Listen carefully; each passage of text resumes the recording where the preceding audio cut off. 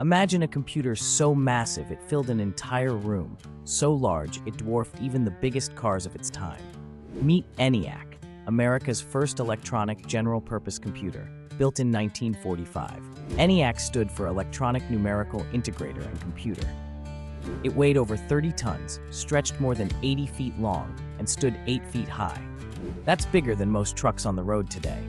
ENIAC wasn't just huge, it was a groundbreaking technological marvel. Packed with 17,468 vacuum tubes, 7,200 crystal diodes, and 1,500 relays, it consumed enough electricity to dim lights across Philadelphia.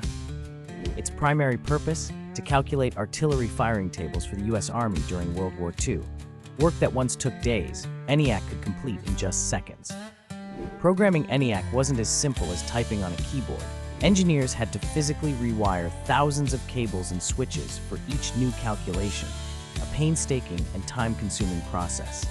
Still, ENIAC's speed and power stunned the world, paving the way for all modern computing and inspiring generations of innovation.